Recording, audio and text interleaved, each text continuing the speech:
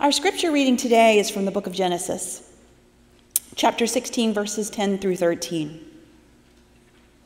Moreover, the angel of the Lord said to her, I will greatly multiply your descendants so that there, they will be too many to count.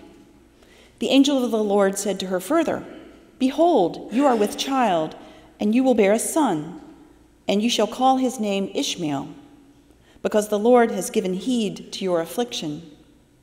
He will be a wild donkey of a man. His hand will be against everyone, and everyone's hand will be against him. And he will live to the east of all his brothers. Then she called the name of the Lord who spoke to her.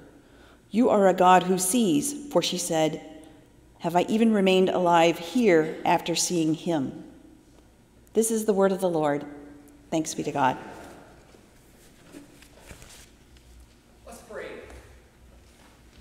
This on? Oh, there it is. Let's pray. Father, great and awesome God, as we come to this time to hear from you, we pray that we would indeed hear from you, that we would hear your words of life alone and not man's wisdom. We pray that we would also be people who are not just mere hearers of your word, but doers of your word as well. In Christ's name we pray. Amen. Good morning, Oakland Presbyterian Church. It's good to see you. Thank you for having me. I've actually wanted to preach here for many, many years now. My kids both went through preschool several years ago at this point. Uh, and I remember uh, coming to a couple of services even back then. Uh, I believe Pastor Bob was here standing in a lectern. I've, I've preached every once in a while, you know, at other places and stuff. And I'm a mover, which you're going to find out. And I would watch Bob up in this, in this uh, pulpit here, and I'm like, how in the world can that dude stand so still and talk? I can't do it. I gotta have, I got, I gotta have room. I gotta, I gotta move around. Uh, I, I, I am not Pastor Craig, as you may have noticed.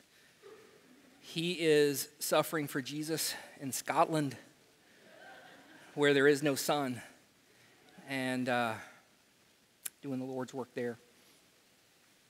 I thought I would introduce myself to you guys since this is the first time I've had a chance to preach to you.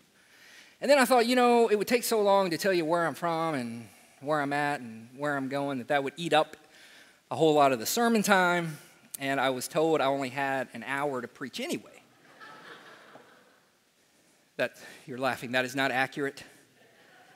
It, it's an hour for, for the whole service. Is that what it is? Well, see, so that, that's, that's going to complicate things. So, uh, so let's leave it like this. I'll just tell you my name. It's Russell Williams. And uh, we'll go from there. Although that doesn't do you any good, it doesn't help you know who I am or really anything about me. The last time I checked, Russell means red like a fox. I am not red although sometimes when my kids irritate me, I can show a little bit of color. And I'm not like a fox. I used to be more like a fox like 20 years ago. Those were the days.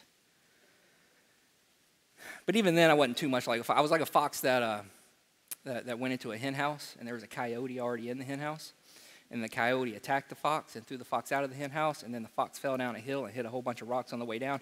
That's as close to a fox as I've ever gotten. So it doesn't do you any good to know that my name means like a fox. It doesn't tell you anything about me. But then you might say, oh, but your last name's Williams. So I know that's short for Williamson. So that means at some point in your family lineage, there was a William who had a son. And you're wrong. Because my dad was adopted. And so Williams isn't even his biological surname. So me telling you my name has now given you zero information about me because that's not really what names do, right? According to Merriam Webster, names are just identification of individuality within a collective. What that means is it's how you get somebody's attention in a group. That's it. If we're walking down a hallway and it's just you and me, and I say, hey, you, you know I'm talking to you. And if you say, hey, you, I know you're talking to me. If we get into a bigger group, then names come in really handy. If I said, hey, you, right now, nobody's gonna know who I'm talking to. I need to use your name. And so, with the absence of a group, I'm a hey you. In the, abs- in, in, in the assembly of a group, I'm Russell.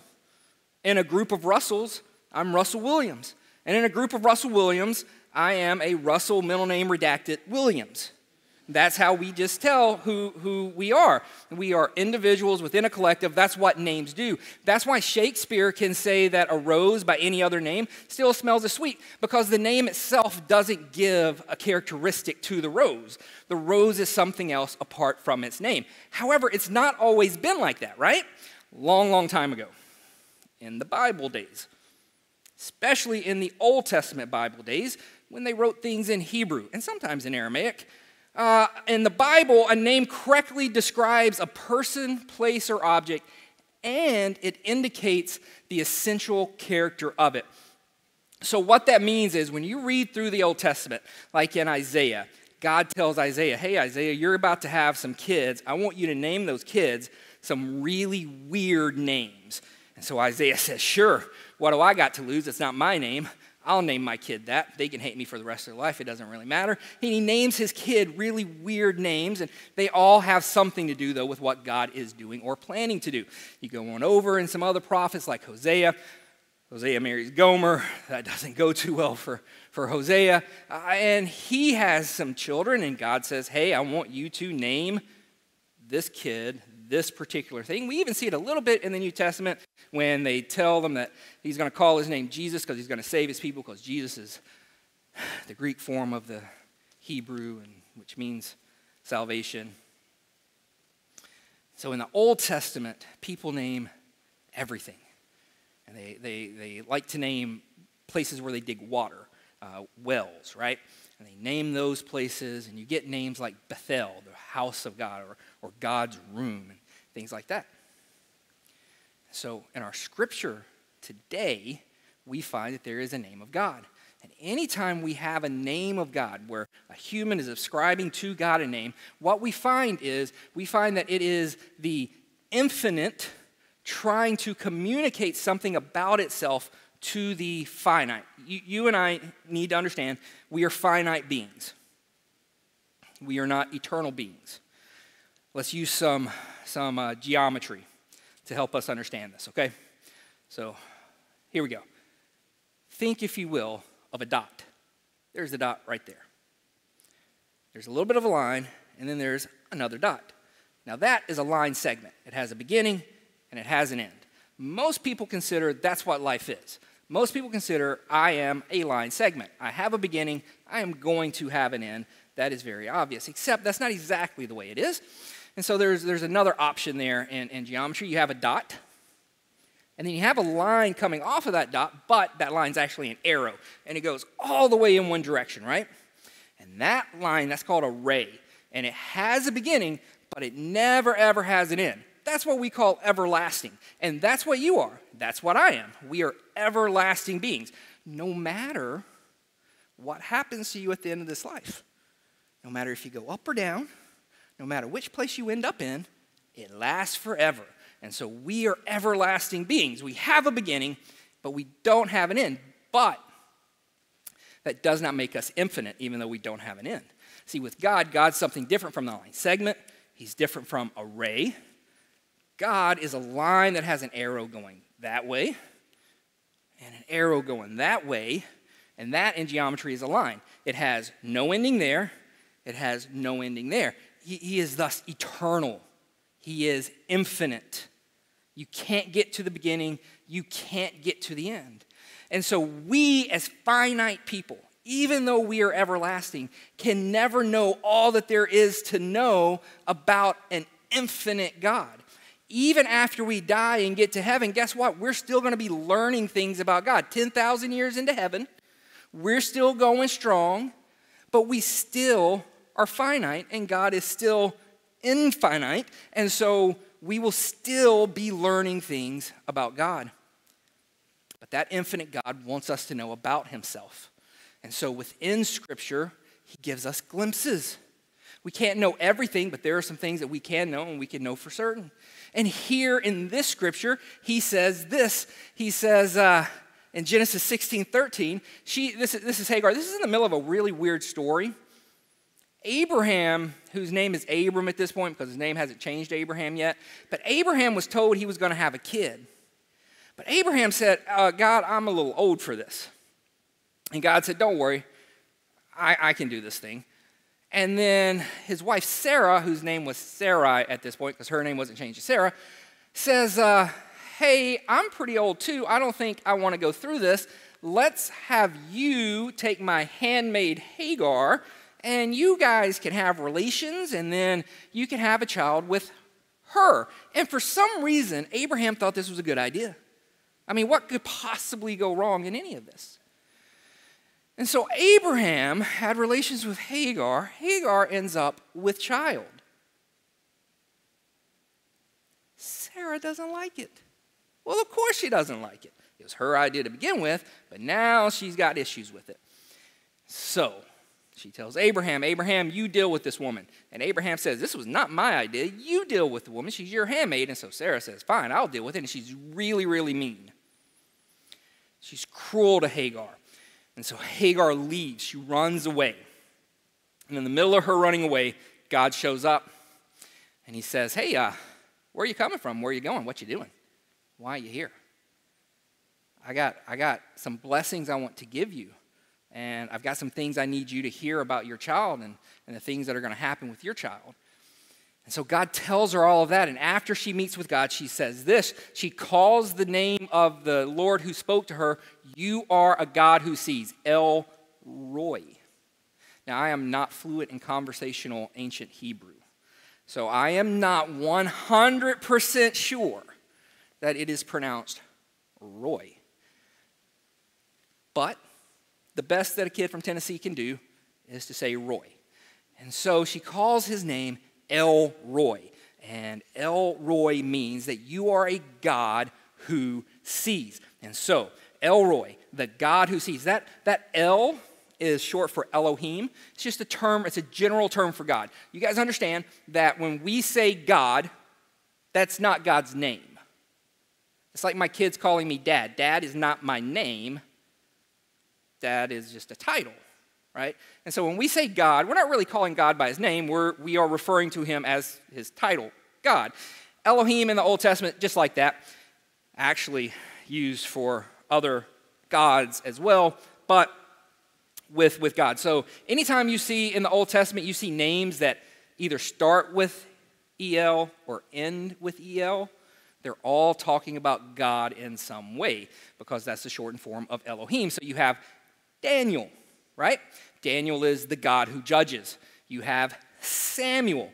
Samuel is the God who hears. And so anytime you're reading through scripture and you come across a name, especially in the Old Testament, that ends or starts with EL, it's saying something about God.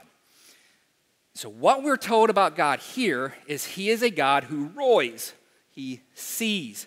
Now that word roy R O I, the very root of that word, it's RH. Raha? Maybe? Eh.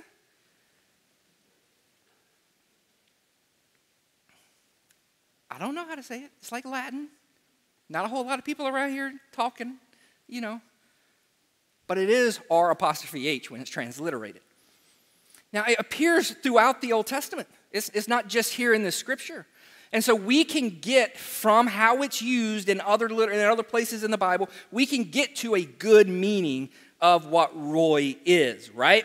And so Genesis 3 6, it's used to describe physical sight. Eve sitting around a tree that she shouldn't have been anywhere around, and she looks at it and she sees that it's good for food.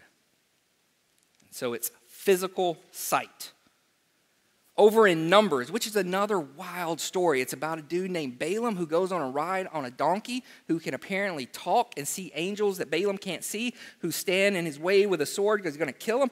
It's a wild story. You should look it up sometimes. But Balaam is a prophet of God, and Balaam has a vision. And he gives this vision, and this vision is of Jesus. And in Numbers 24 17, Balaam says, I see him but not yet. Still afar off. And he's talking about Jesus. And he says, Ah, he's coming. Here he comes. but it's still going to take a while. And so he sees him in a, in a, in a vision, in the, in, the, in the mind's eye, right? Uh, it means becoming aware of Genesis 16, which is the chapter we're in now, when Sarah finds out that Hagar is with child. She becomes aware of the fact that she is with child. And it's the same root word that is used in, in that. In Psalm 16:10, prophecy of Jesus. And it says, You will not allow your Holy One to undergo decay. Other translations translate that, You will not allow your Holy One to see corruption in the grave. It means to experience something. And in that instance, Jesus is not going to experience corruption in the grave. What's he going to do? He's going to come out three days later. If you haven't read that part, I'm sorry to spoil it for you. But he does. He comes out of the grave three days later. And so there's experience in this. And then in Genesis 39 23, it's the story of Joseph. Joseph, man, not a great guy, right? He's, he, he's not good to his brothers, and his brothers aren't good to him either. Everybody's at fault here. But he gets sold into slavery. He does okay for himself in slavery, but then some things happen. Not really his fault. He was doing the right thing, but he gets put in jail anyway. But while he's in jail, he gets put over other people in the jail. And in Genesis chapter 39 and verse 23, this word is used by the jail keeper and it says that the jailkeeper no longer needed to oversee anything that Joseph was in charge for. He did not need to look after it, he did not need to care for it anymore. And so throughout the Old Testament, we see this root word that we get our word Roy from there. And we see that it means physical sight, a vision, becoming aware of, experience, and caring for. And so all of these things are things that God is trying to get across to us within our language so that we can understand that about Him. And so here's what we need to understand is that God sees us. God sees you. God sees me, and we are a people who desperately want to be seen. We do so much to be seen. The problem is that most of the time we only want to be seen in the way we wish others to see us, and we don't wish to be seen in the way that we truly are. And so, man, we will post every stinking lunch we have on Facebook or Instagram. Please look at me we will take 50 pictures of our children, 49 of which they're all acting like little hellions, but one of them, they come out right. And so we're going to post that because we want to be seen, but we only want to be seen in the way we wish to be seen. And we're desperate. We're desperate to be seen, but there's fear there, right? Because being seen, when it's paired with mistrust, feels like being exposed. And that's what happened all the way back in the garden, right? Adam and Eve, they're just bebopping around. They're having a good old time. Nothing's wrong. Everything's good. And then they decide they know better than God. And they eat of the fruit. And then all of a sudden, whoa, uh, I see you seeing me, and I don't like to be seen like this. And now I feel exposed. And so, what am I going to do?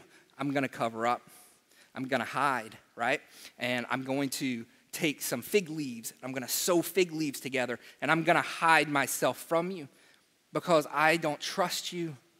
And I don't trust that you're going to look at me and love me. And so they hide from each other, but then that's not enough because God's coming and they got to hide from God, but God's a lot bigger and the clothes aren't working too much. And so what do they do? They jump in a bush to hide from God. Because we fear being exposed, because we mistrust the eyes that are looking at us. Over in the book of Hebrews, long way from Genesis. Hebrews chapter 4, verse 13 says, There's no creature hidden from God's sight, but all things are open and laid bare to the eyes of Him. Oy. That is not, that is not a pleasant thought, is it? that you and I are laid bare before God. That there is nothing hidden. Because you know what goes on in my head? I bet it's the same thing that goes on in your head. They're not going to love me if they knew.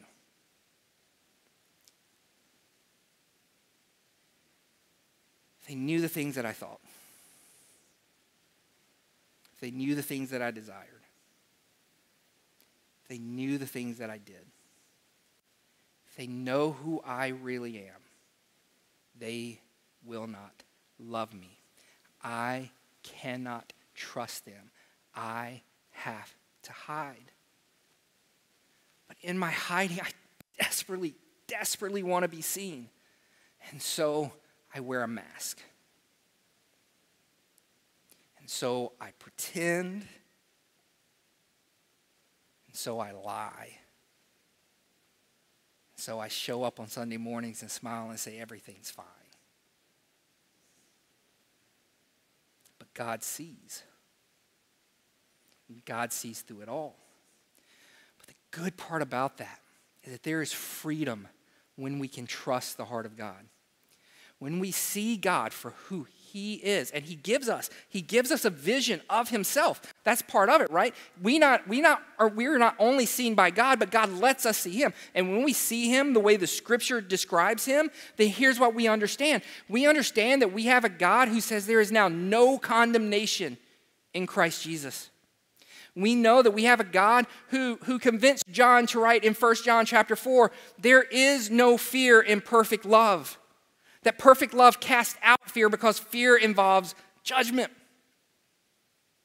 Because we can trust the heart of God. Because why? Because God first loved us. See, God loves us. It's not a romantic type of love. You guys understand that romantic love is, is blind and stupid.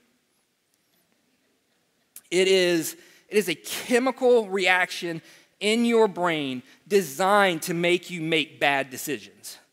That's what romantic love is.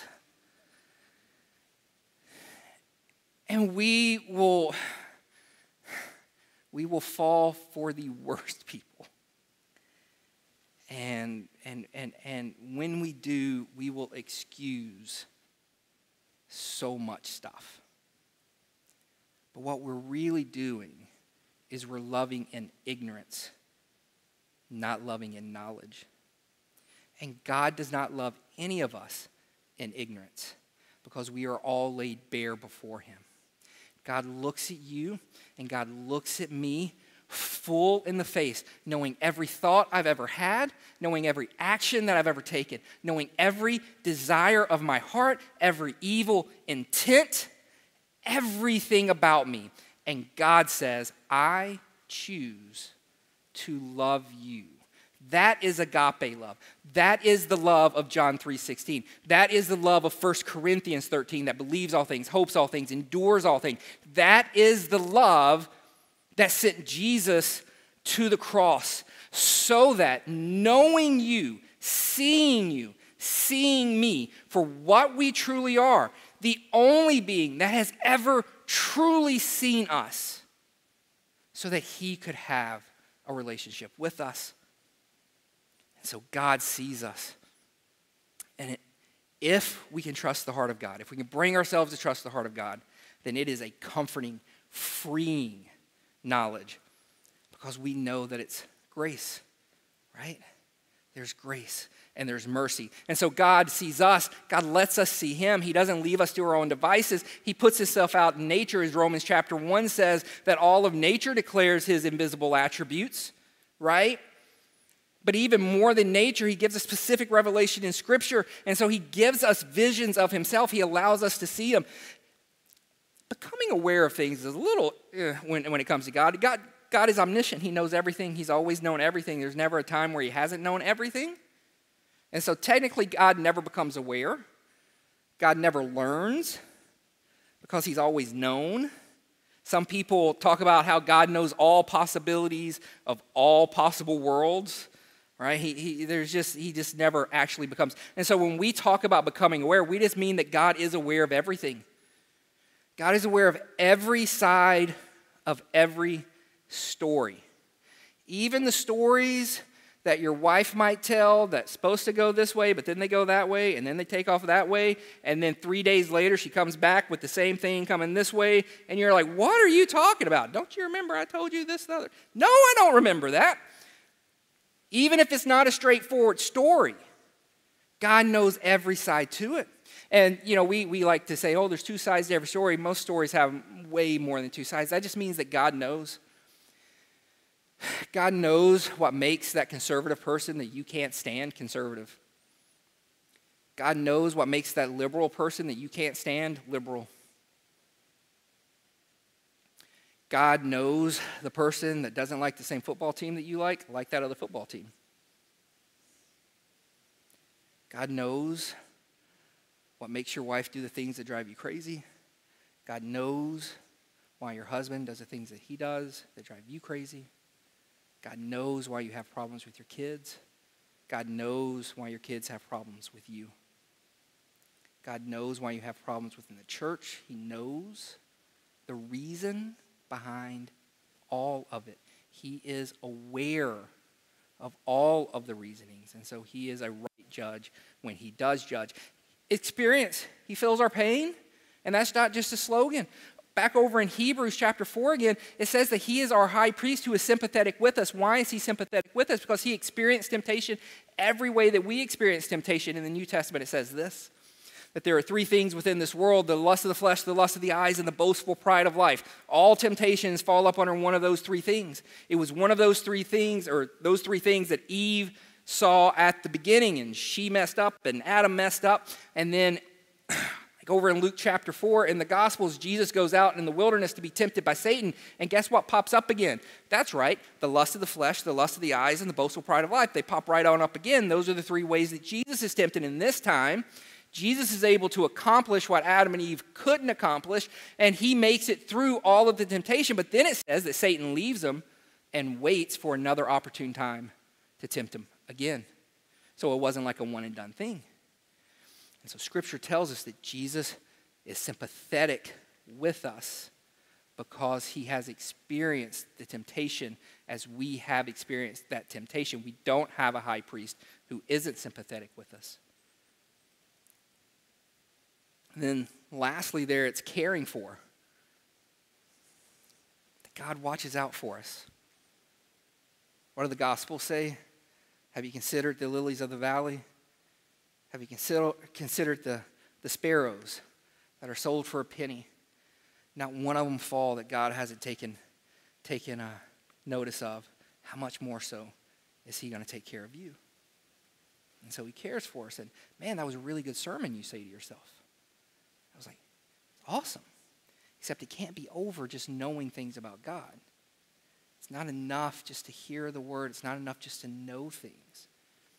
It's got to be applied to our life. And so we can't just say that, oh, we serve a God who sees. We have to be a people who see as well. And so we have to ask ourselves these things Do we see others? I'm going to tell you the, the answer is no, I don't. I pull up to a corner and a panhandler standing out there. You know what I do? I look the other way. I bet you do too.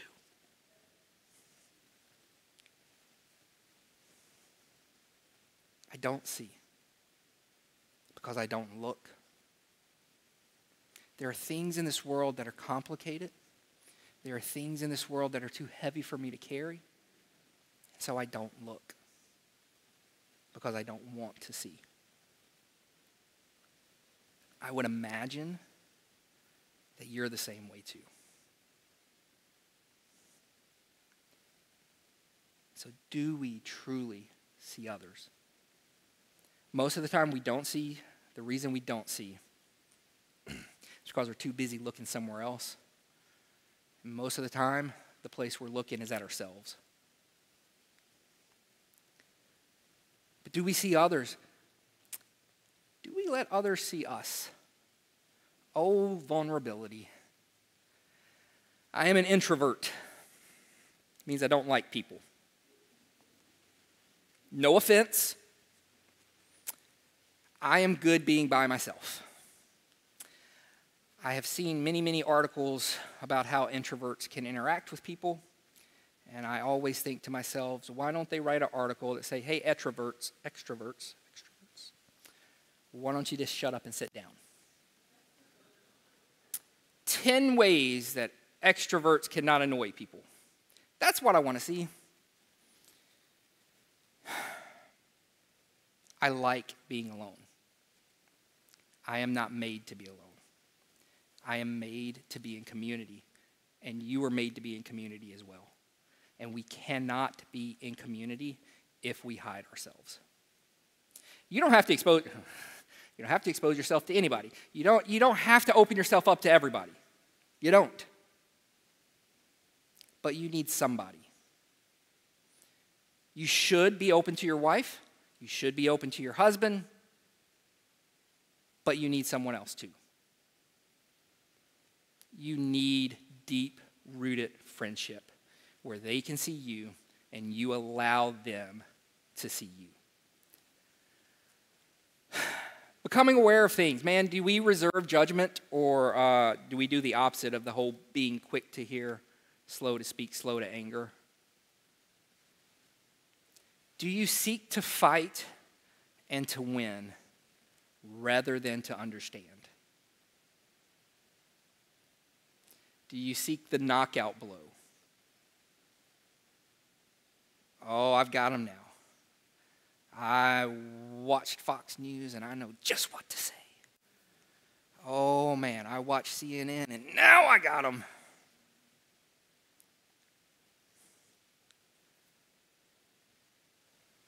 Do we reserve judgment until we know all the sides of the story? Do we empathize?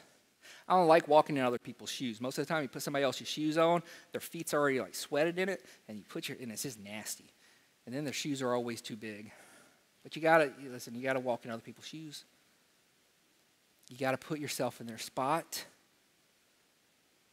We have to see them and understand, try to understand their pain. The best, man, the best example I ever heard of this was uh, it's a guy named Brennan Manning. He wrote it in a book, and he was talking about a guy who got on a bus early in the morning, and he gets on the bus with his two kids, and he sits down, and his kids start going wild, and there's a guy, another guy on the bus.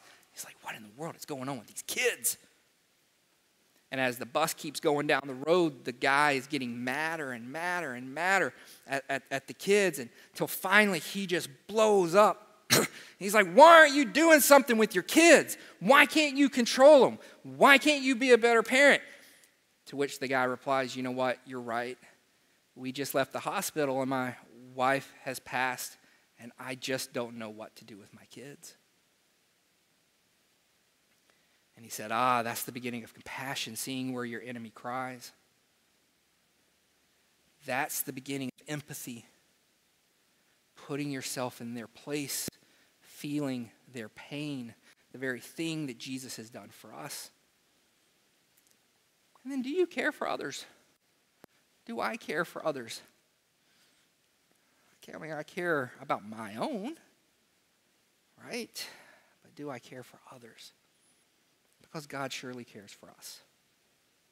Now, that is a tall order. That is a very tall order, and I, I, don't, I don't reach up to it, right? I certainly can't do it within my own power. I certainly can't force myself into it. And that's the state of the human population. Nobody can. That's why Jesus died. Jesus died not only to give us grace and to forgive us when we can't meet these, but Jesus died so that we might have his spirit live within us.